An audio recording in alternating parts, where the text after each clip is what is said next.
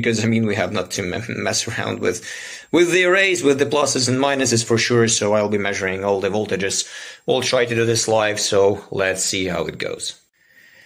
Okay guys assembled it all. And uh, let me explain you quickly and do the measurements. So first of all uh, this is all assembled, right? So it gets into here, then it's into here, and then goes out plus somewhere and minus directly to the inverter. I mean, that's one of these cables right now. Same for the second array. But here, the most interesting part is here. So uh, on the worms, you apply the plus and plus, and from the plus, you take both pluses.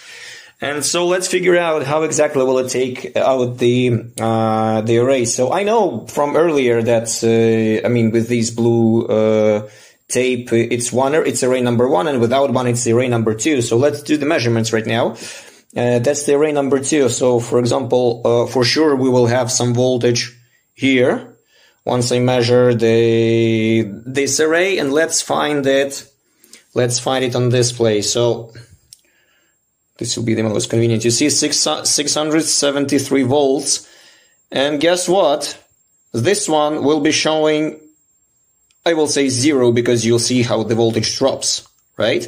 And if I switch to the bottom one, we have the voltage. So now let me change the array. Let me change the array to this one.